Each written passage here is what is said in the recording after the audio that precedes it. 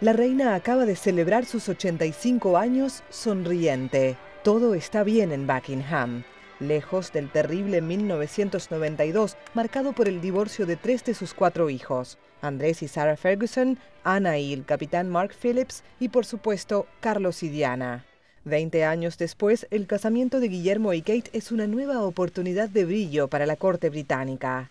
Los jóvenes novios se conocen bien. Carlos, a quien Diana llamaba Sir hasta el día de su boda, había visto a su futura esposa una veintena de veces antes de casarse. Además, Kate es mucho más madura. Kate lo hará bien. Creo que a Diana la precipitaron. Era demasiado joven e inocente, opina esta británica. Hoy conocemos incluso una de las razones del fracaso. Diana misma reveló que eran tres en su matrimonio. La tercera era Camila, con quien Carlos finalmente se casó en 2005. Pero desde entonces la realeza británica ha cambiado, apostó fuerte para recuperar su imagen, incluso con la elección muy pensada de la prometida de Guillermo. Kate tiene su propia personalidad y encaja muy bien con el papel. Es una persona sólida, pero además la familia real aprendió mucho de los errores que cometió con Diana, afirma este experto.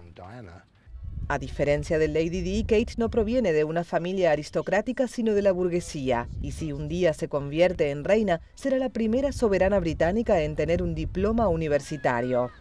Pese a todo, Kate y Diana tienen un punto en común, su gran popularidad, que podría generar un problema. 59% de los británicos prefieren a la joven pareja antes que a Carlos y Camila para suceder a la reina.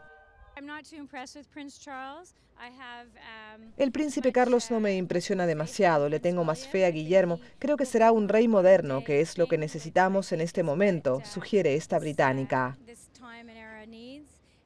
Pero la sucesión no parece ser un tema para resolver enseguida. La reina luce saludable. Además, para que Guillermo ocupe su lugar, se necesita que Londres y los otros 15 países de la Commonwealth acepten cambiar la constitución.